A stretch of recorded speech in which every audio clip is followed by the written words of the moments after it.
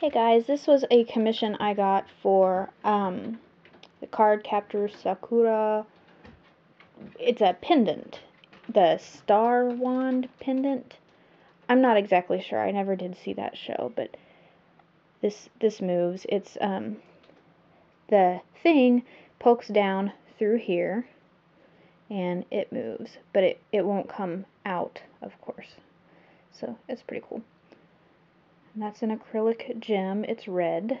And this bottom piece, this key here, is metal.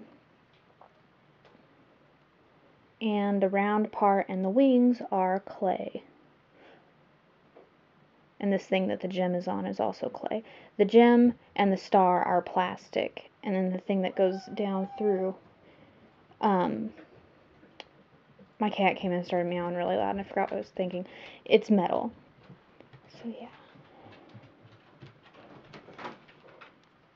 Hey, dude. Check it out.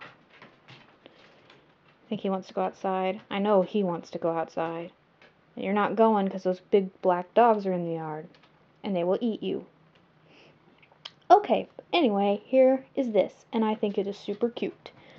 Um, hope there's enough detail. I know my camera's not very good. It's kind of old school.